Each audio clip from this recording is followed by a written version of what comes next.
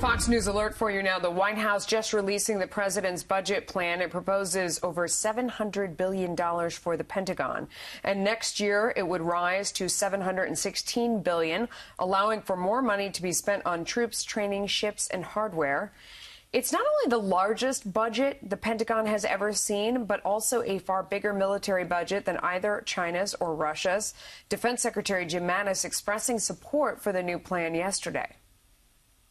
I am very confident that what the Congress has now done and the President uh, is going to allocate to us in the budget is what we need uh, to bring us back to a position of primacy. Indiana Congressman Jim Banks sits on the House Armed Services Committee. Sir, thank you so much for joining us. It's only an outline and a proposal from the president. It's appropriations that actually hands out money, but this is a lot of money. What do you think?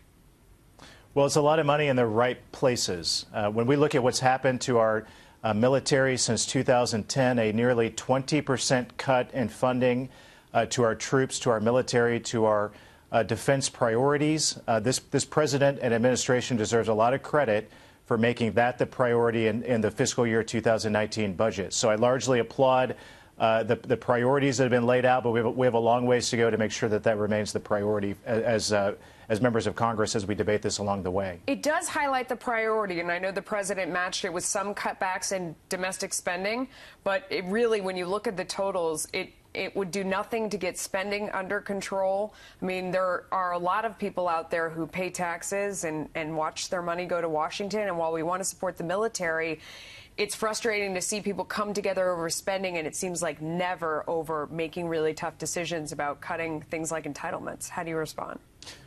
Well, that's exactly what we have to do, and uh, to, as uh, to be responsible to address the the fiscal status of our federal government looking forward. We have to find a way to balance the budget. Uh, hopefully, in doing that over the next 10 years, this budget doesn't get that far, but it gets close to that, and the the administration deserves credit for that. But as the as the appropriations committees, as the budget committees come together and, and address uh, the fiscal picture looking forward, it's going to take a lot of work, but that's, that's exactly the type of leadership that the American people elected Republicans to provide uh, that, I, that I hope we will follow through with. Do you have any hope that'll really happen, though? I mean, we always hear sort of platitudes and, and good words and good intentions, and then when it comes to actually getting in committee and making tough decisions, everyone seems to remember that they have to be voted back. It seems like something very fundamental has to change in order for the government to get its fiscal house in order.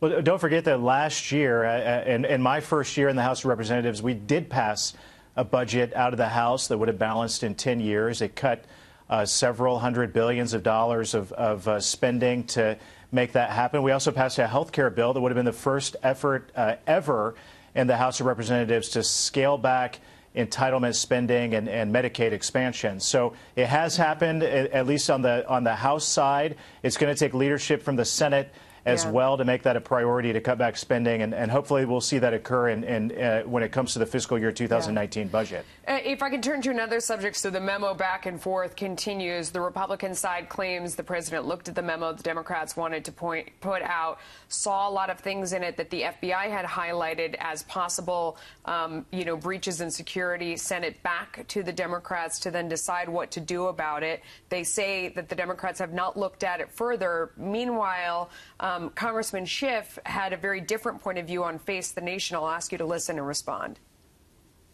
Their goal here is to put the FBI on trial, to put Bob Mueller's investigation on trial, and the president is only too happy to accommodate. But the president doesn't want you to see these facts from the FISA application because it completely undermines his claim of vindication. Congressman Banks, what do you think? Well, that's complete hogwash. In fact, uh, the president has made very clear that uh, he's open to releasing the Democrat memo, but it needs to be scrubbed to make sure that any uh, classified uh, issues or anything within the document that might be a national security risk should be should be scrubbed from the document, and it should be. I've, I've read the Democrat memo. Uh, I was among the first one of the one of the first members of Congress to call for its release. It should be released to the American people, but in a responsible way. And it, it's my understanding that President Trump uh, supports uh, that release as well, with a couple of caveats of making sure that it's not uh, releasing any information that would be a national security threat. Real quick, does it largely contradict what Republicans say? Does it prove that a lot of it was inaccurate? Yes or no? Uh, uh, no, not, in fact, it, it reads like a political document, but in many ways it concedes many of the key points that the Republican memo makes as well. It should be released to the public. Let the public decide for themselves. At the end of the day, the outcry for accountability uh, from both Yeah. of these memos is loud and clear, and that's, Okay. that's, that's the direction that we should take to hold those accountable who abused the FISA process. Congressman Jim Banks, thank you. Thank you.